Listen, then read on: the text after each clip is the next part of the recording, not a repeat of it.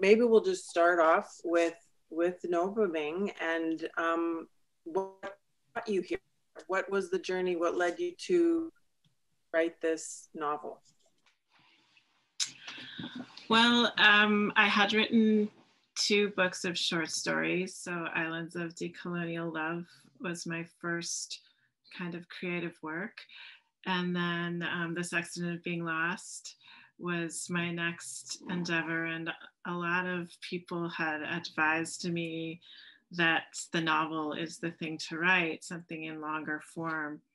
Um, so this was my foray into a longer form, and it was very um, hard actually for me to get my head around the genre of the novel because My background is in Anishinaabe storytelling practices and Anishinaabe intellectual traditions. And of course, traditionally, we don't have novels or, or stories that are that long. Um, and so the novel and the structure of the novel and the protagonist and the antagonist and the conflict and all of those parts of a novel are not so present in Anishinaabe storytelling. So I still wanted to to tell a story in longer form. Some of the characters that I had um, come up with in Islands of Decolonial Love appear again and and um, This Accident of being lost and then appear again in Noopiming because I just I fell in love with these characters and I I carried them with me in my life and I I thought I thought about them and had conversations with them and so they're very present in the novel and um, it, it ends up being a, a very very different kind of novel obviously and a very very different reading experience which which was deliberate on on my part for sure. Uh, yeah so it's like and it's terrific. Like it's it is a different experience for a lot of us who are used to the traditional western structure. The the circularness of it, the the weaving in and out, the white space. Um, everybody I've talked to who's read it has had a different experience with it. Um, did you ha- can you speak a bit about that? Um, well, you know what I'll I'll say that I was kept going back kind of to the beginning and looking at the back cover because the characters move from from people to elements to organs to, to all the it's very obvious the interconnectedness of all things. And i would love to hear your thoughts on that. So within anishinaabe thought relationality is is really really important and it's how the world is organized for us rather than a hierarchy. Um, so relationships with living things with other humans with our family with the plant and animal worlds um, with the natural world are very very important and they're very intimate and they're very local um, but they're also very global because of that interconnection.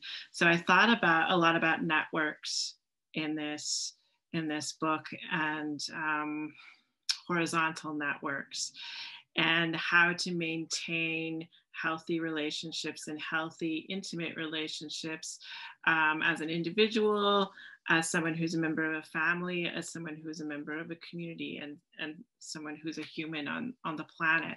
And so i wanted that relationality to be really clear in the book. I wanted um, that circular idea of time and space um, that's also a part of Anishinaabe thought rather than having a, a very clear uh, linear past, present, and future. Um, we tend to think of things in circles and in, and in cycles.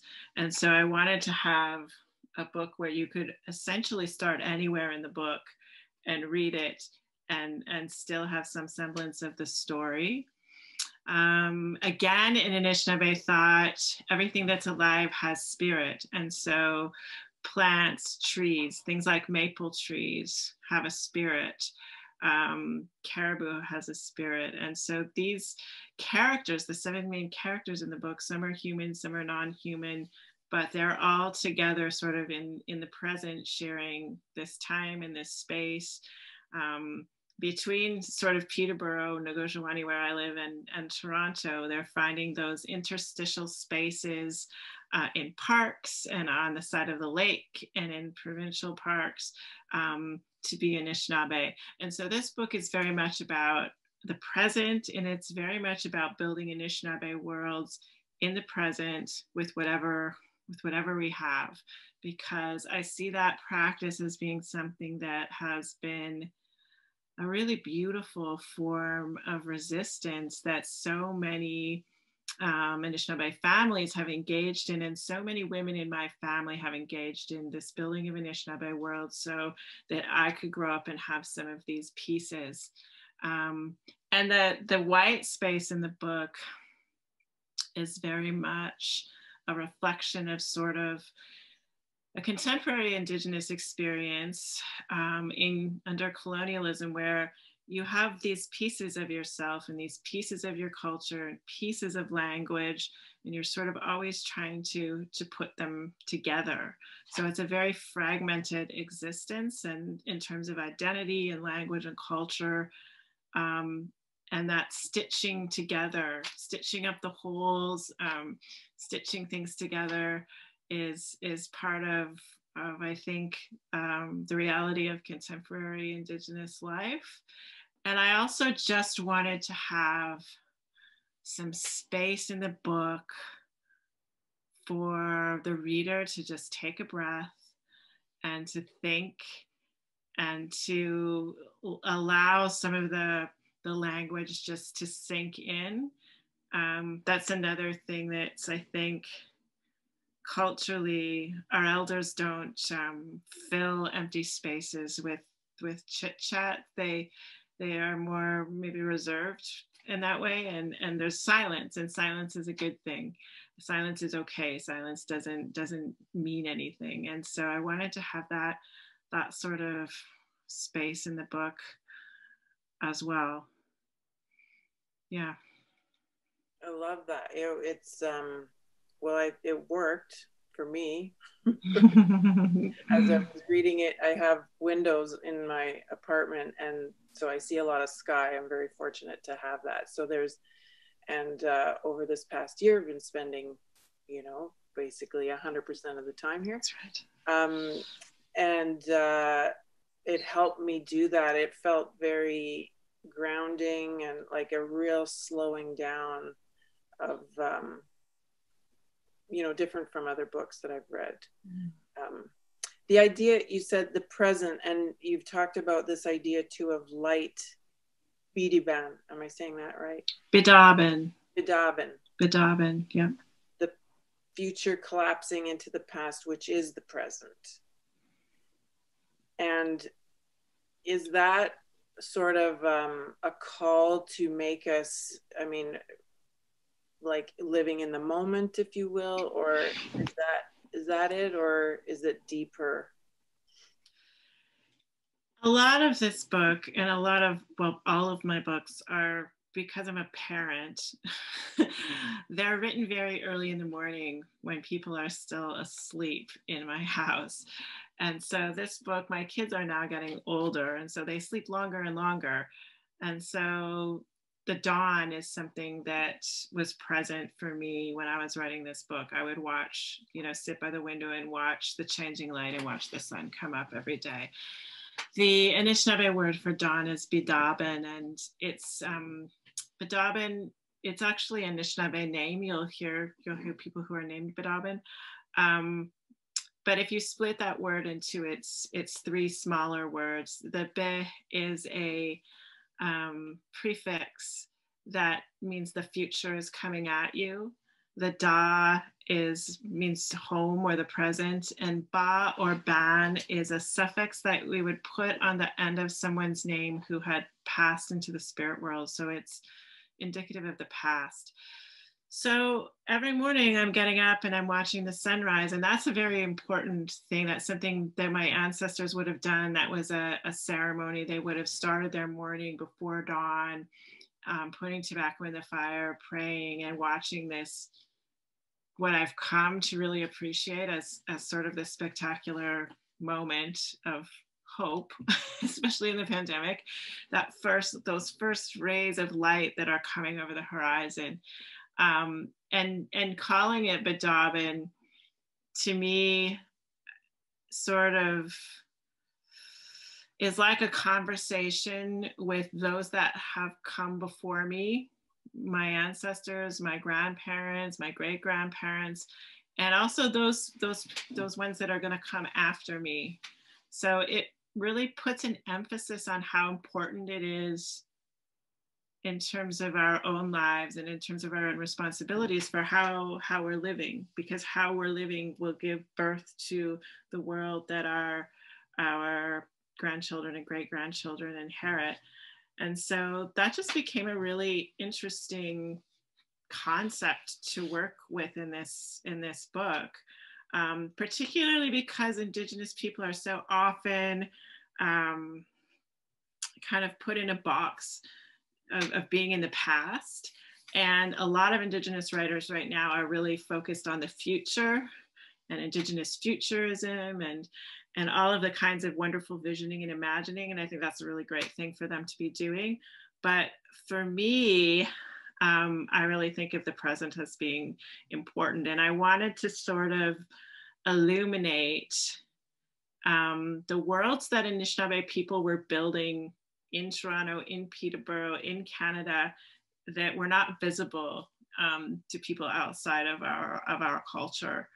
Um, because these worlds are, are, exist and they're they're beautiful and they're a beautiful part of my life and uh, and it's it's those sort of other worlds that are existing alongside um, colonial worlds that I wanted to I wanted to spend hours a day thinking about and living in through this through writing this book.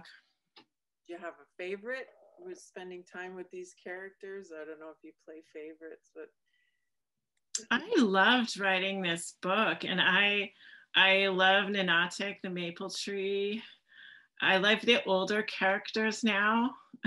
um, I don't know if that's because I'm getting older, but I just love the freedom uh, that uh, Moya has in terms of doing whatever it is she needs to do in this unapologetic way. And if that means walking into a uh, into an IKEA and and doing strange things, then then she's gonna do that.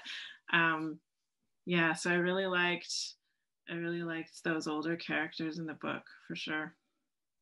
And it's there's some there's humor plays a role in your in your work. Um, is that uh, sometimes it's really well, writers find it difficult to do humor, but it seems to just flow naturally. Or can you talk about that? I think culturally, there's a lot of humor in Anishinaabe culture. There's a lot of laughing in my family. There's a lot of uh, like as a coping mechanism, as a way of healing, as a as a way of just bringing joy into life. And so I wanted that to be reflective in the the novel, and it, I, it did flow very. I didn't find that part of of writing the novel difficult. That was something that just flowed pretty naturally for me.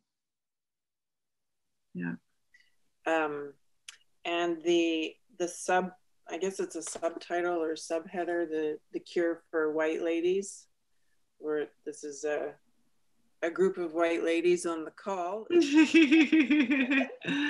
thank you for coming anyway. um, it was a reference to Susanna Moodie's work and Catharine Parr Traill's work, who were two very important canonical uh, white women writers in, in Can Lit um, who are writing in, in Michi-Saagiig Nishnaabeg territory in the mid 1800s to the late 1800s. And um, that in itself is, is a feat and it's celebrated. And I think it should be celebrated. And as an Anishinaabe person, um, their work is very difficult to read for me um, because the depictions of Mississauga and Anishinaabe people are very, very racist. Um, there's parts of, of, of roughing it in the bush that's very anti-black and the consequences of not just those sort of racial slurs, but the consequences of the actions of those time um, were extremely violent for my family and for for my ancestors. And so I think that I carry and my children carry the trauma and some of the damage from that. And so I wanted to, I mean, Margaret Atwood and Carol Shields have written books about that are sort of riffing off of um, the work of, of Susanna Moodie and, and her sister. And I wanted to do something different. I wanted to use the book as a jumping off point. So the word Noopiming in my language means in the bush. So whereas for these these women from England, the bush was kind of a nightmare of, of work and uh, very opposite to to the life that they were they were used to uh, for me and for for my people it's the most beautiful loving soulless place. It's it mean everything is in the bush. Everything that has meaning for us is in the bush. Um, and i wanted to show sort of the worlds these anishinaabe worlds that those two writers couldn't see because of their their racism and because of their their beliefs. So i wanted to kind of hint towards um, had they come into my territory with a different mindset, uh, the possibilities of what could have happened. Um, so there's, so it's sort of tongue in cheek and it's sort of a, a humorous way of, of looking at it. And the focus is not really at all on, on them. Um, the focus is on these gorgeous, generative, beautiful worlds that they missed in terms of art making change in a political um, way uh, or policy change. This is this group too is a bunch of status quo challengers and feminist entrepreneurs and change makers. Um, well, how do you see the role of art? I think it was highlighted at the U.S. inauguration with uh, Amanda Gorman and that amazing poem, right? It just yeah. kind of people stop to listen and watch and be changed because a lot of the commentary is that art can say things that you can't say, politicians can't say, or you know, members of parliament. What do you think about that? I think for me, it's another tool. So um, I'm also an academic, so I teach this kind of stuff in the in the indigenous politics in the classroom. That's one tool. Um, when you have a captive audience um, whose marks and future are dependent on your grading, um, that's a certain dynamic. Uh, writing is another dynamic um, where people can engage you know without you being present at their own on their own pace. Um, and then i think performance is another way of um, taking sort of my practice into theaters and, and bars and interacting with people face to face through music and through performance um, that's a different a different tool. And i think all of those tools can be transformative and all of them cannot be transformative as well. So i think it's it's um their their tools and i speaking to different audiences through different tools is is um something that's that's important. I also think groups like this and change makers and people who are challenging policy and who are out on the streets um, activists i think this group of people who sees the world a little differently also needs to find needs to be able to find art where they can find affirmation and comfort and stress relief. And um, i think that's very important for me in terms of connecting to indigenous audiences is um, not necessarily writing for them but writing to them um, so that um, they can i mean i they can like read and find some humor in in Noopiming and find some comfort in Noopiming and find some reflection of, of the people that are in their lives in Noopiming. I think that's something that's been really important to me because it's not something that I had um, growing up.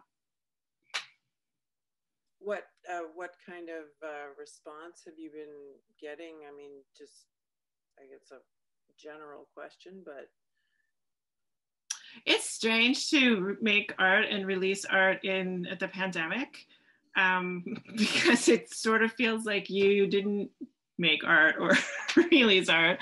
Um, in some ways, it's it's very it's been a very strange experience. I um